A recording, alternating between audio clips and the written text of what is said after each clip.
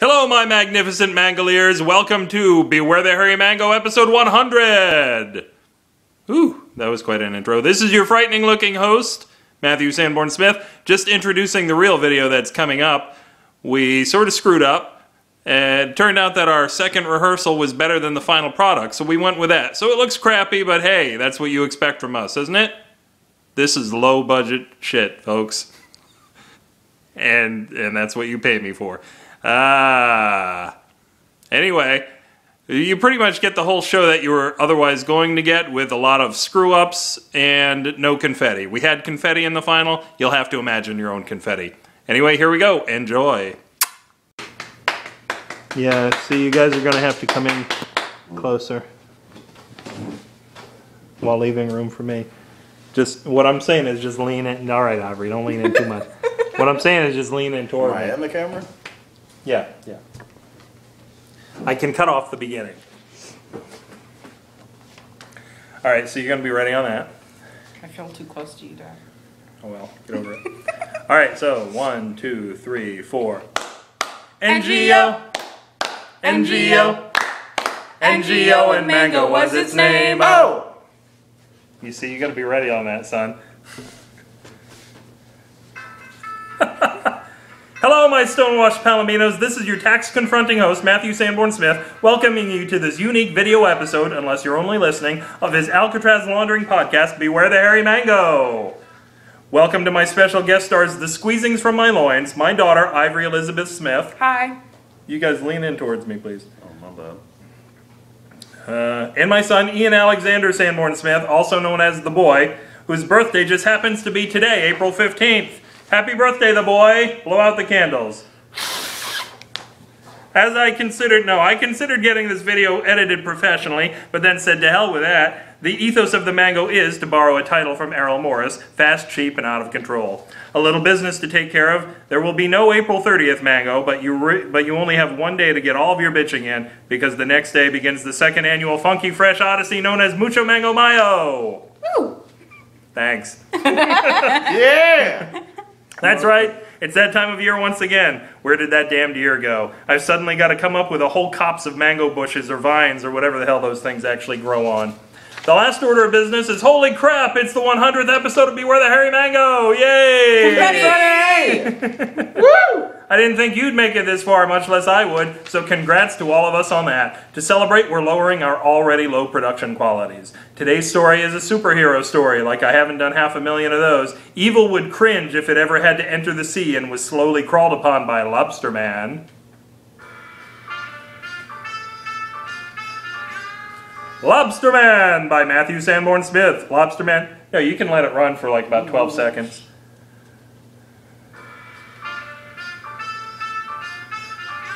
Lobster Man by Matthew Sanborn Smith. Lobster Man is being played by Ian Alexander Sanborn Smith. The police commissioner's part is played by Ivory Elizabeth Smith. They tried to talk Hiram out of becoming a superhero with the argument that all the good superhero names were already taken, but Hiram had spent his life being talked out of everything, and at 87 years old, he had finally had enough. He saw their bullshit talk as evidence that there were loads of bad names out there ripe for the plucking. He brooded upon his name in a darkened room of his mansion, when, as fate would have it, a lobster flew through his window. He immediately ran down to the lobster cave, which had until only moments before been known as his basement, and constructed an exoskeleton which looked exactly like a giant lobster. From there on, Hiram was on a lobster roll, building gadgets, giving them all stupid names, and meeting the police commissioner, who called him Hiram on the spot. Um, who is this Hiram of you speak? Of whom you speak? Dude, we're the police. Give us a little credit. We looked for the one guy who put 3,500 gallons of lobster red paint on his credit card. Damn it! Will you keep my secret? I don't really think anyone cares about your secret. So, yeah, sure. Here, if you ever need me, shine this lobster signal into the sky. But make sure it's a cloudy night so I can see it. Or I'll never see it. Did you just steal a sign from Lo- Red Lobster? No, it was the one on Macedo. They were going out of business. I bought it fair and square. Yeah, okay. Fast page change. Once you say fair and square, then you should turn the page. Don't wait for Ivory's line. I realize that now. Staying in character, that's good. I'm an old man, I can cough. Yeah. When you're the old man, you can. Listen, I was wondering how you might feel about changing the name of the jail to the Lobster Trap. I just thought that it would be cool. No. How about then we, when we throw the villains into the asylum, we say we're holding them for lobstervation. No. Somebody me laugh. That's okay. You guys can laugh. I love that shit. you know, Batman never had to put up with this shit. You know why? Because Batman is a fictional character. You're just an idiot in a lobster costume. What would you say if I cut a big fat check to the police department? I'd say the city streets are safer with you on the job, Lobster Man.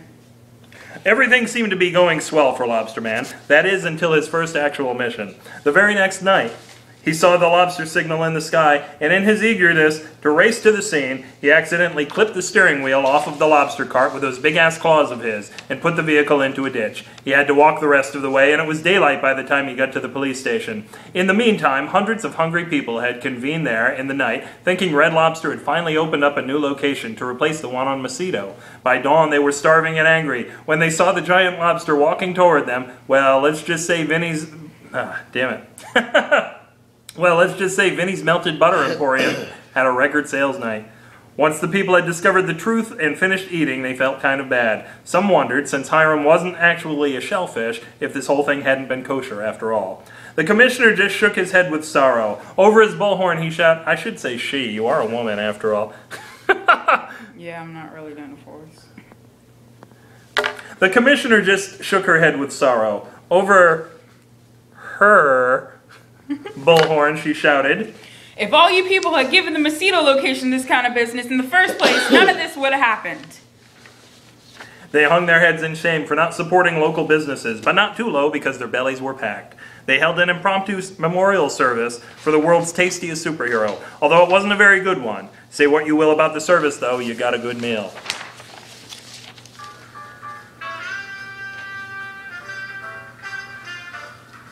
If this story cracked your tail, you can masticate it and other audible delicacies dribbling all over your bib right here at the cockroach of the sea of the internet. BewareTheHairyMango.com.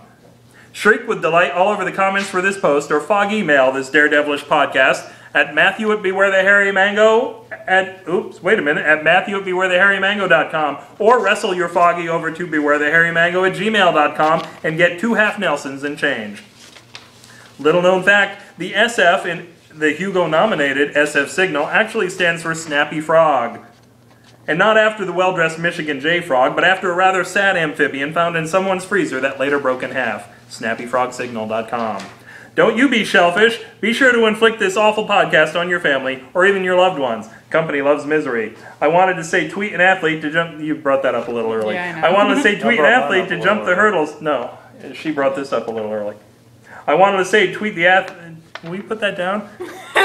I don't know, you tweet, just, tweet. you just started to Tweet say the it. tweet tweet. Let me try again. Tweet it. Let me go back to here. Don't you be shellfish. Be sure to inflict this awful podcast on your family or even your loved ones. Company loves misery. I wanted to say tweet an athlete to jump the hurdles of their intolerance and follow me at twitter.com slash upwithgravity. But then I realized that athletes don't hang out on Twitter. They're out doing stuff.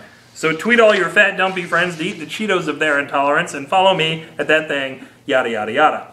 Imaginary Cheetos. I don't have anything cute to say about the donate button this time around, so instead I'll just say, hey, give me money, you bastards. This podcast shakes, rattles, and rolls like your favorite nursing home doo-wop group before leaking out of their... Uh, gotta, gotta swallow my spit before I start that. Ew.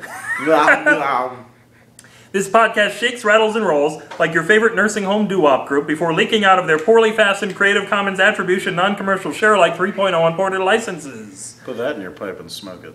Thanks to Police Commissioner Ivory Elizabeth Smith Bye. and Lobster Man Ian Alexander Sanborn Smith I shall protect.